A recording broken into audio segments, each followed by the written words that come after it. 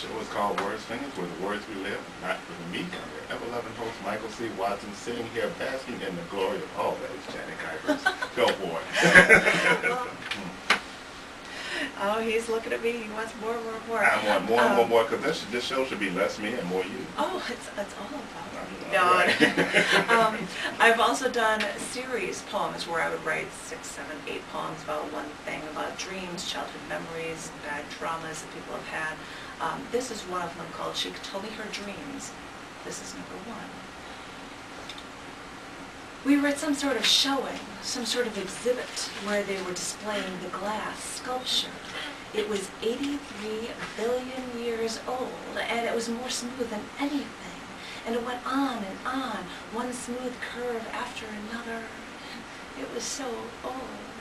And they displayed it on the water. It was on a lake or the ocean. It rested on the water religiously.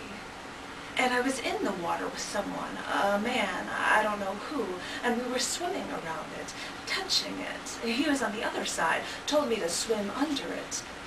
I, I didn't know if I could make the cross, but I went under. Across I went.